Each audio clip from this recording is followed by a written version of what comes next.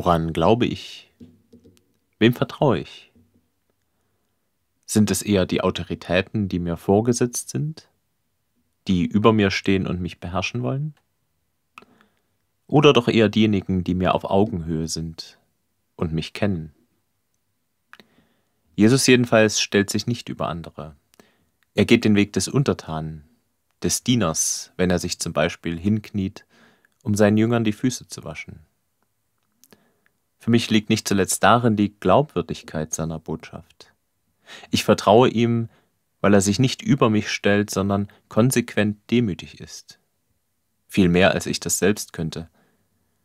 Und genau darum steht er doch über mir. Jesus ist für uns am Hohen Kreuz gestorben, damit wir ewig leben können. Vertrau mir, sagt Jesus. Ich bin meinen Weg bis zum Ende gegangen. Am Ende wird es gut.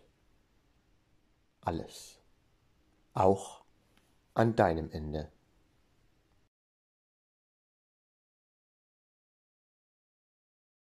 In dem Wochenspruch geht es um Gottes Hilfspaket für die Menschheit. Es ist zwar furchtbar, dass am Anfang gleich jemand sterben muss.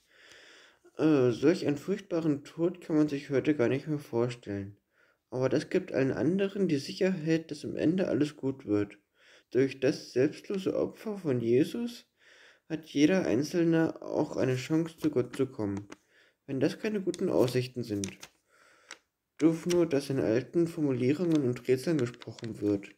Man braucht da nämlich immer eine Weile, bis man draufkommt, was eigentlich gemeint ist.